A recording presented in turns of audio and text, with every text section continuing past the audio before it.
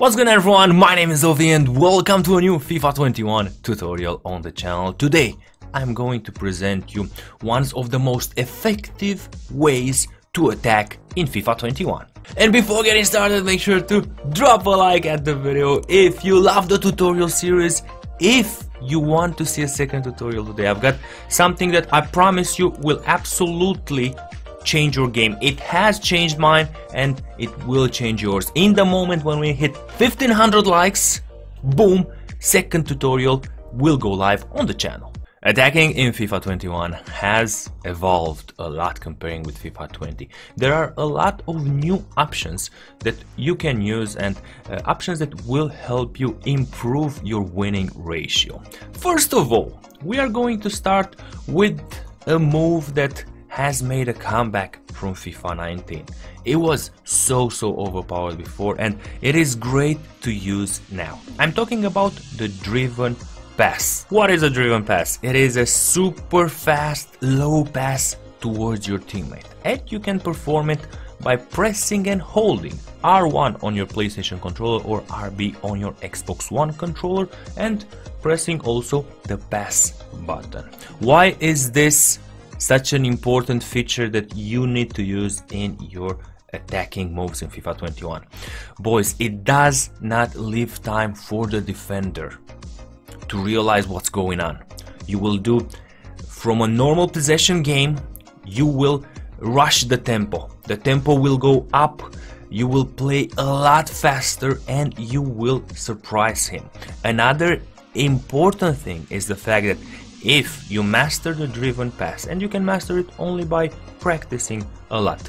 You will see that the first touch of your striker is the perfect layout for a shot. And that's again very important because in FIFA 21 the defenders block a lot of shots. You get in the penalty box and it's easy for them to block the shots. But from a driven pass your striker will do a perfect first touch and then a perfect shot. Very important feature that you need to use in your attack. Skill move importance. Another thing that you need to consider in FIFA 21. Skills are so overpowered this year and when, bu when building an attack, when isolating your striker, you need to have in mind a few skill moves.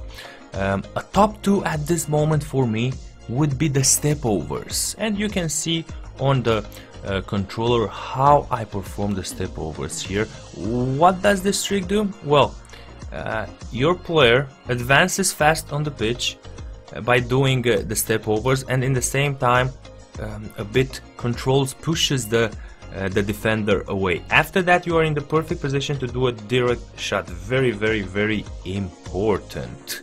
Another great one, especially um, in positional attacks. It's the standing fake shot with croqueta.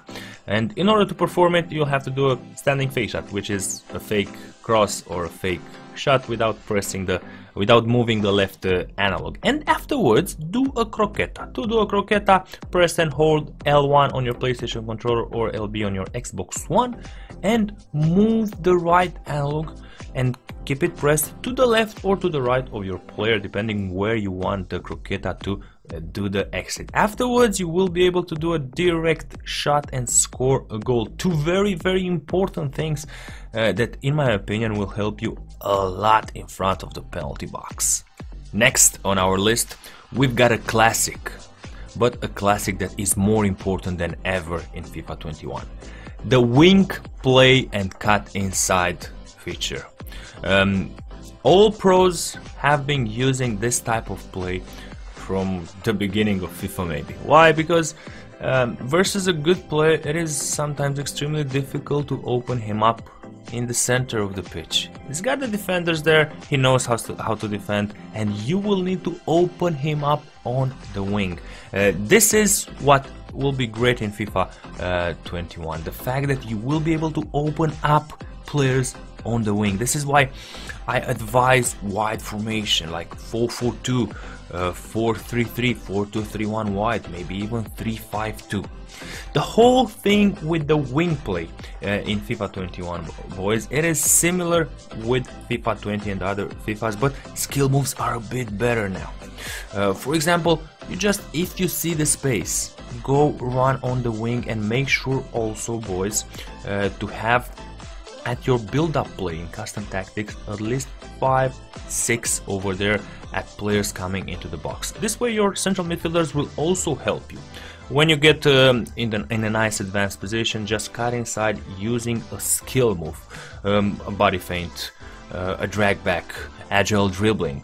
Cut back, do consecutive passes, see the isolated player inside the penalty box, play to him and score a goal. The thing here is, again, you will be able to destabilize the opponent's defense by doing this type uh, of play. Uh, another personal favorite of mine is the pass or the cross in front of the goal. Uh, in this example right here, I am on the wing inside the penalty box. I do a body feint to fool the defender and afterwards a simple pass, not a through ball, a simple pass to my teammate.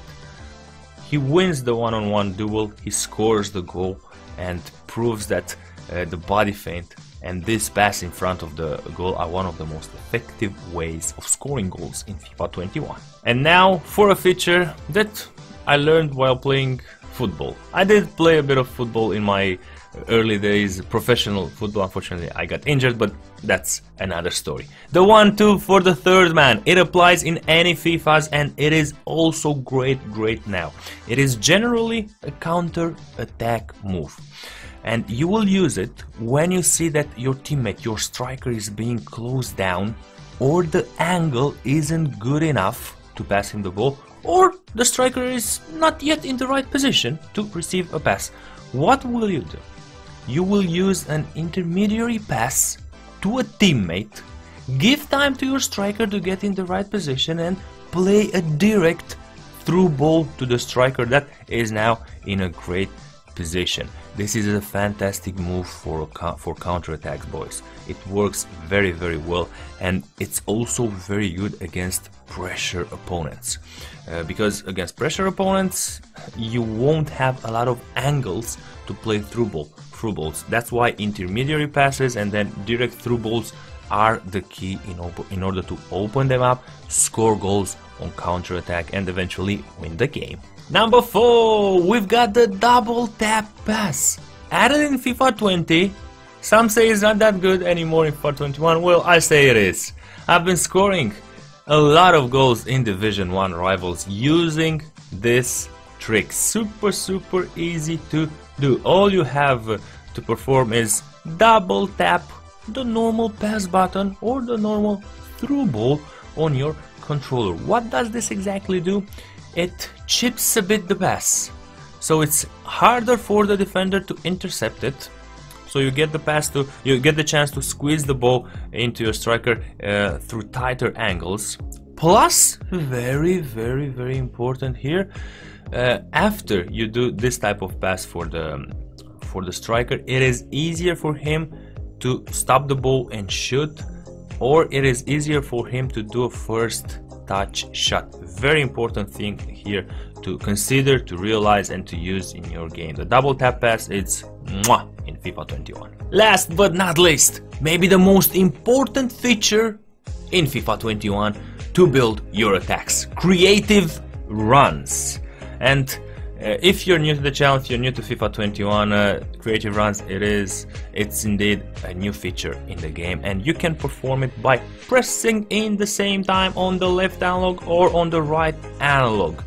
This way you will be able to control your player after doing a pass, but we don't want exactly to do that. We want to control the teammates. So we're gonna press in the same time on the left and right analog and flick one more time the right analog or more times. By using the um, flicking of the right analog, you can browse through your players, through your teammates on the pitch. So that's exactly what we're gonna do now. We're we're pressing in the same time the left and right analog, then flicking the right analog, and uh, to control our other teammate, and we alter his run we change the direction of his run, we see exactly where the empty space is, and we trigger the pass by performing a simple pass. The advantage with creative runs, boys, um, you will be able, as seen in this example, uh, to perfectly see where to move your player and move him in that direction.